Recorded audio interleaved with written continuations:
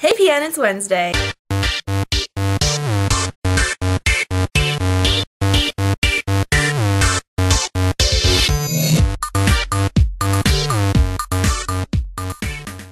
Uh-huh. Hump day. I get excited about Wednesdays because Wednesdays is my Friday at work, so pff, obviously I like it. How about that election last week? Crazy, right? Personally, my state uh, legalized marijuana and gay marriage, so we're just above and beyond. What's up with you guys? Are you not cool enough? It's the hipster thing to do. Legalize it.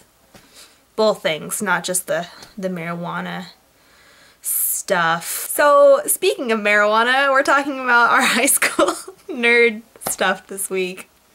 Yep. Uh, there was a little bit of pot smoking in high school. There was. A teeny bit. For only a few months, but it was not a nerdy time for me. It was a, I'm a badass. A few nerdy things I did in high school. Um, drama. I did drama for a little bit. Debate. I did debate club for two years and I was terrible at it. And I did stage crew for like two months. Um, that's kind of it. Mostly though, I didn't, I wasn't that big of a nerd in high school. Junior year and senior year, I did not go to high school at all. I was um, actually uh, in college, I did like this program where I do college credits and high school credits. So that was like probably the most nerdy thing I did in high school was that I went to college for two years. So that is my nerd stuff of the week. What have we learned? That Holly smoked pot in high school a lot. Can you tell? I don't know. My nerdy pleasure this week was watching the election because it was fun to watch and, you know, it's not exactly a nerdy thing, but it kind of is. So I'm gonna go with that.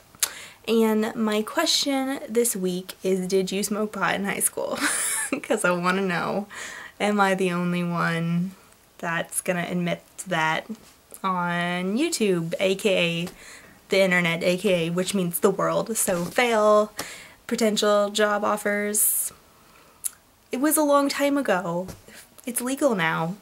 Okay, I'm gonna stop talking. Nick, I'll see you tomorrow, and it was good talking to you yesterday. Bye.